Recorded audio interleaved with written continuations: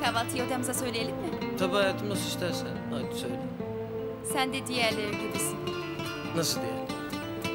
Güzel bir gecenin ardından süt dökmüş kediye dönüyorsun. Şu an sana ne istersen yaptırabilirim. Allah Allah. Sen kendini bulunmaz Hint kumaşı falan sanıyorsun herhalde ha? Ne bu sabah sabah Paris Hilton ayakları? Hem ne oluyor o diğerleri falan? E iyi de sen ilk erkek arkadaşım değilsin herhalde.